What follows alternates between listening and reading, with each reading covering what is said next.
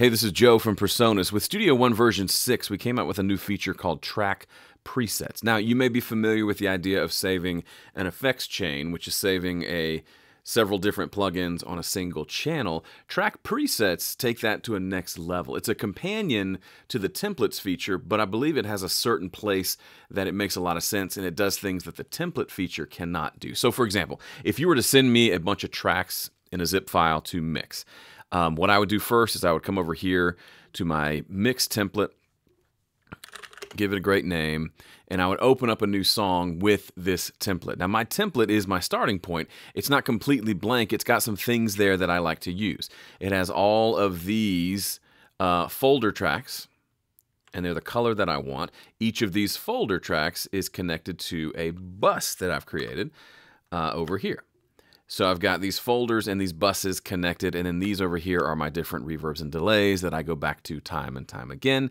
And then each bus has, there's no processing yet. None of, the, none of this is doing anything to the sound, but this is the compressor I like to use. This is the EQ I like to use, and it's there waiting for me to add, to turn the EQ on or to start boosting and cutting when I get tracks in here. So if you sent me tracks, I would drag them into this bottom section. Uh, let me see if I have an audio file I can show you.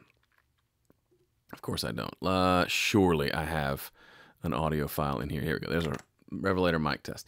So I drag the tracks into Studio One, and then I take that track and drag it into its appropriate folder. So if it's a drum track, I drag it here.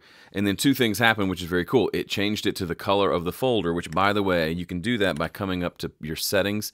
Go to, uh, where is it? Go to General. No, go to Advanced under Editing, and you'll see this, uh, this setting right here, apply track, I'm sorry, apply folder track color to content. That's how you get it to do that. People ask me sometimes.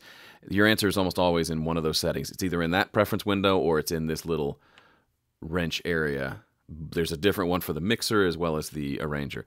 Um, okay, so it does that, but it also takes that track and it routes it to the drum bus. So by putting it into that folder, it goes ahead and routes it to the drum bus. Super handy, allows me to get my mixes set up quickly. This is all well and good if I'm starting from scratch, but what if I'm working on a project and I've already started mixing, but I want to bring something from one song to the other?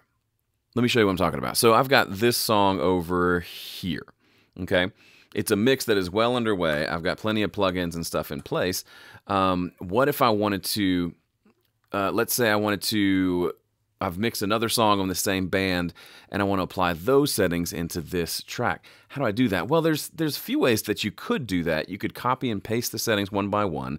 You could save the settings as individual, what is this, one, two, three, four, five, six, seven, eight, nine, ten, uh, 10 individual like effects chains, but then that doesn't save the fader levels. It doesn't save the I don't think it saves the gain knob at the top and doesn't give you sends. So it's not really a, a, the perfect solution. You could do import session data, which can work, but it just takes a little while. So this is a way to, let's say, let's flip it around. Let's say we want to create a track preset from this that we want to bring into another session. So the first thing we do is we select all of these, come up to the track menu, and you'll notice there is a new feature called store track preset. So we're going to call this, um, uh, drums, because that's the that's the name of the song. Can't not let go. It's got one folder track, eight audio tracks, and I'm gonna save that into folder that I created for myself called Show. Okay, so we've saved that. Now let's pretend that we're in a new song and we want to bring those track presets in. How do we do that? There's a couple ways we can do it, but the easiest way, at least for me to start, and you'll want to play around with this and see what way works best for you, but I would come to the Add Tracks menu and you'll notice now when you go to this, and you get here by just pressing T on the keyboard, there's a load track preset button. That's new. We click that, we now can see all of our track presets. And down here in the bottom, we can see that my drum track preset is here. And it tells me exactly what's included. So when I say OK, check out what happens. Actually, let's uh, let's deselect this track. Actually, let's just say okay, hit OK. All right. Now you can see it's created a new drum folder and if we zoom out, you'll see it's got all of these tracks here. And if we open it up, we can see it's brought in everything. Now let's say, for example, there were no sends here, so that's a bad example. Let's uh, let me remove all of these for a second. Let's just assume for argument's sake that we had this going to like a room reverb um, as well. Um, that would have saved and that would have also been brought in. But now you can see, you may think, okay, Joe, so what's the point of bringing these in? Well, here's how I would use that. Um, we go load track preset, bring in the drums, and it creates this new batch of channels. Okay, for right now, they're on the far end.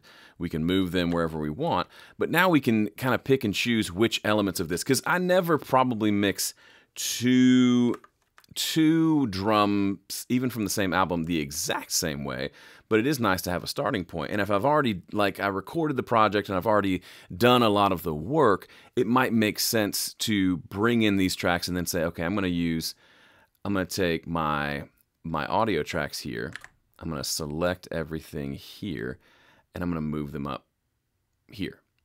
So you see what happened? I just moved these tracks from their previous channel onto this new channel, which has all of the settings that I liked from my previous mix. So it's kind of a, this is probably, I'm sure the folks in Germany are rolling their eyes at me because it's a little bit of a clunky workflow, but this is how I would use it. I would use it to bring in channels that I like from other songs um, and as a way of kind of turning this into a template without having to stop everything, export all my tracks, import them back into a new template. That's a workflow that would not be fun or make me happy at all. So here's another way of thinking about um, these track templates. Let's create a brand new, just a brand new blank session. Sorry, these track presets. What's really cool is we have a bunch that are there for you already, um, but you can create your own. Now, from a front end standpoint, from a creating music, from a production standpoint, this can be probably even cooler than what I just showed you. So let's say we want to bring in, we want to load a track preset. We can say, let's bring in a beats plus vocal track preset.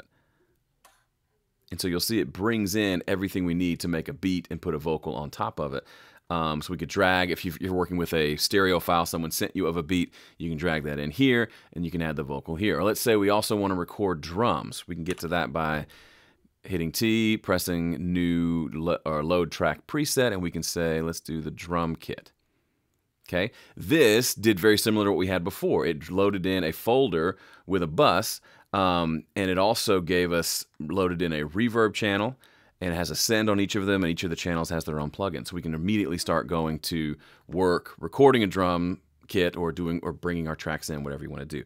Uh, here's another one that's really cool. If you get into the instrument section, let's say you want to just program some acoustic drums, for example. You select that one, it gives you everything you need to do that. So these channels over here were just brought in. Actually, I think it's all of these here, I believe.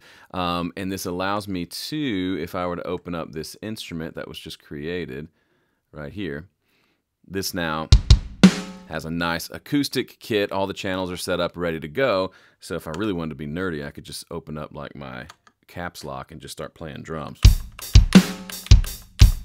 Mm, so good.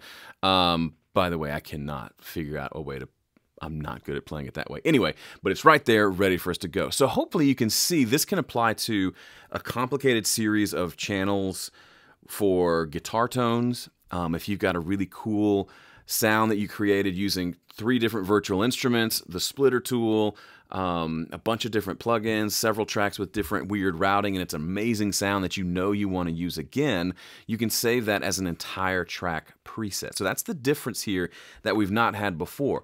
Instead of just saving what's on a single channel, you can save a whole group. If it takes all these groups to create this amazing sound, you can now save them all as a track preset and then load that up as much as you want. And yes, if you, you may have seen this already, if you look over in the browser, the track presets are right here, and of course we can just drag and drop that sucker right into a session just like that.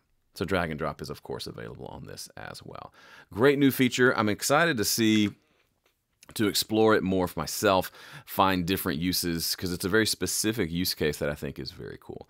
So let us know how you're using track presets. If you haven't upgraded to Studio One version 6 yet, it's a free upgrade for Sphere members. So if you join PreSonus Sphere, that's the least that's the easiest way to get into version 6 for the least amount of money. So go check that out on our website. Link will be in the description. Thanks for watching. See you.